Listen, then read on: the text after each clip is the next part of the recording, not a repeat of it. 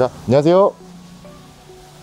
새알람입니다. 자, 오늘은 겨울철에 눈을 맞고 난 다음에 겨울철에는 어떤 방법으로 관리해주면 내 차에 좋은지에 대해서 설명을 드릴게요.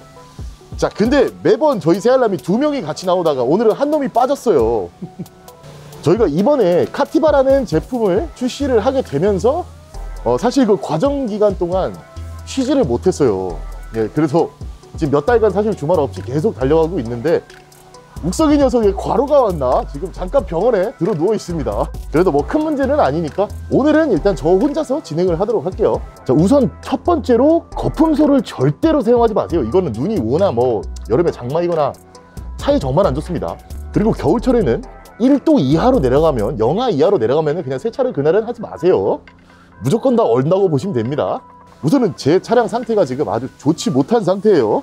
2주 정도, 3주 정도 세차를 못했고 출장 때문에 고속도로를 많이 탔었고 눈도 지금 한 세네 번 맞은 것 같아요. 제설차에 의한 염화칼슘도 많이 맞게 됐고요. 일단 이물질이 굉장히 많이 달라붙어 있기 때문에 고압수로 먼저 깔끔하게 헹궈 줄게요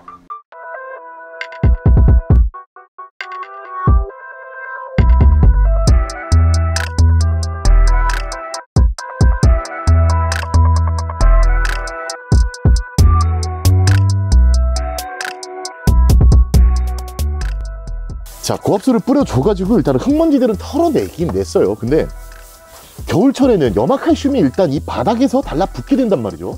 근데 사람들이 세차에서 염화칼슘 이런 생각만 하다 보면 하부 세차만 열심히 돌리면 된다고 생각을 해요. 근데 그게 아니라 이 wheel house 안쪽에도 당연히 염화칼슘이 묻고 이 바닥에도 당연히 묻을 것이고 휠에도 묻을 것이고 타이어에도 묻을 것이고 그렇기 때문에 오늘 pre-wash는 저는 Double Action을 사용을 할 거예요. 먼저 압축 분무기로 분사를 해주고 폼으로 덮어줄 겁니다. 이렇게 되면은 진짜 마프라 측에서 얘기하는 건 한 오염도의 80%까지 없앤다라고 하는데 실제로 굉장히 깨끗해집니다. 구석구석 정말 하단까지 완벽하게 힐하우스까지 완벽하게 분사를 해줄 거예요. 그리고 염화칼슘이 눈이랑 만나면 산성기를 띄우게 돼요. 그래서 알칼리성으로 1차적으로 제거를 해주는 게 중요합니다 휠에도 좀 뿌려놔주고 위에서 아래로 뿌려주는 것도 당연히 중요하겠지만 구석구석 뿌려주시고 특히 하단이 이렇게만 뿌리시는 분들 계세요. 뿌려놓고 정작 이, 이 아래쪽 각은 뿌리지를 않는다는 거죠. 여기도 염화칼슘이 많이 튑니다. 염화칼슘이 많이 튀면 부식이라. 예, 산은 달라붙어가지고 파고드는 성질을 갖고 있기 때문에 부식을 일으킵니다. 이렇게요. 우리 감독님 차입니다. 오케이 좋아요.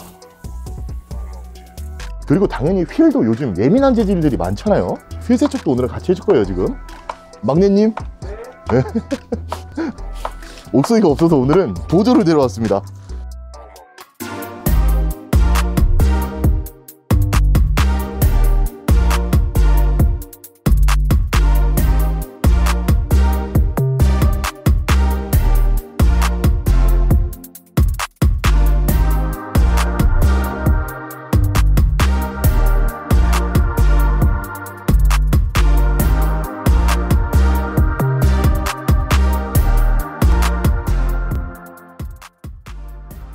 오늘 제가 사용한 제품은 Labocosmetica의 Primus예요. 3pH 세차를 할 건데 염화칼슘이랑 이 기타 오염물들을 떨어뜨리기 위해서 오늘은 Double Action을 썼어요. 그리고 헹궈낼 때 이번에는 아래에서 위로 올라오게 될 겁니다. 그래야 내가 어디를 헹궜는지 어디를 안 헹궜는지 어디에 염화칼슘을 떨어뜨렸는지 안 떨어뜨렸는지 볼 수가 있어요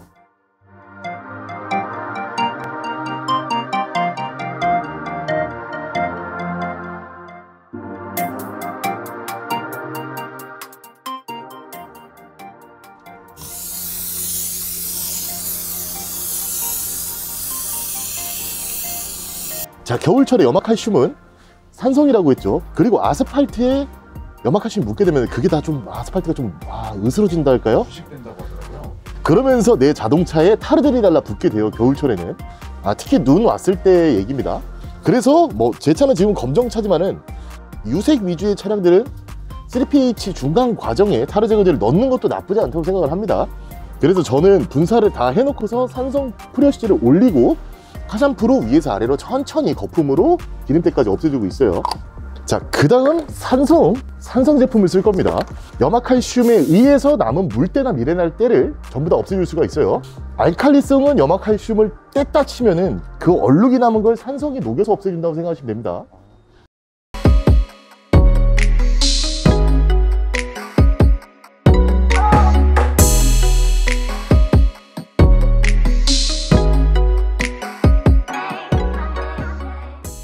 자, 지금 방금 이 옆에 물을 뿌렸는데 beading이 안 나왔어요.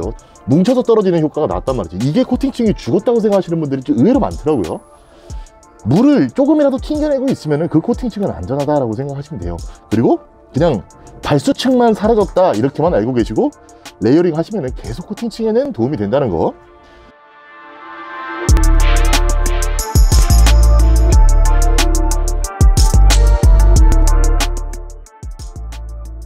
자 그리고 겨울철에 드라잉 해주실 때 문 틈새에 있는 물기들을 웬만하면 깔끔하게 제거를 해주세요. 어, 내가 세차를 했을 때는 조금 날씨가 따뜻해서 괜찮았는데 집에 가는 길에 이 물들이 얼어서 괜히 문이 안 열리는 현상이 일어날 수도 있습니다.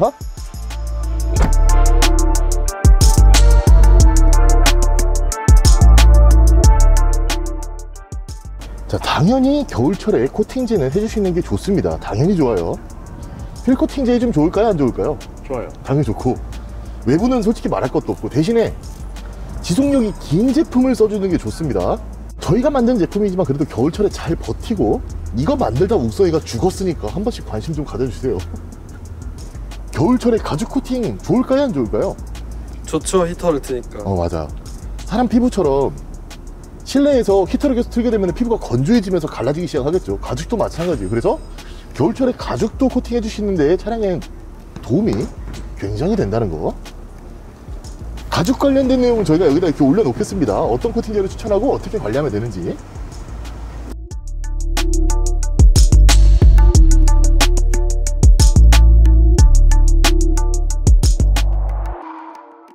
자 겨울철 눈이 왔을 때도 마찬가지로 깨끗하게 그리고 안전하게 씻겨내 주고 그 다음에 코팅을 입혀주는 방법이 가장 좋다고 생각을 해요. 지금까지는 제가 추천드린 방법이고 저만의 약간 프로세스이기는 했는데 겨울철에 또 추가로 여러분들이 알면 좋을 내용들을 몇 가지 소개해 드릴게요 자 가끔씩 보면은 자동차 보호 커버를 씌우시는 분들이 계세요 앞 유리 전용만 성에가 끼지 않기 위해서 하시는 분들도 계시고 만약에 내 차량이 깨끗이 코팅이 된 상태가 아니라면 그 보호 커버들이 움직이면서 또 차량에 스트레스를 유발을 합니다. 그래서 분명히 소리 생길 거예요. 그래서 유리 같은 경우에는 유리 발수제를 발라 놓고 도장면 같은 경우에는 왁스 코팅을 발라 놓으면은 어는 점이 많이 낮아져요. 어떤 차는 눈이 내렸는데 눈이 그대로 쌓이고 있고 어떤 차는 눈이 녹아 내리고 있죠. 그리고 눈이 쌓였다고 손으로 치우거나 타올로 치우거나 빗자루 같은 걸로 막 쓸어내거나 하는 짓 절대 하지 마십시오. 도장면이 정말 안 좋습니다.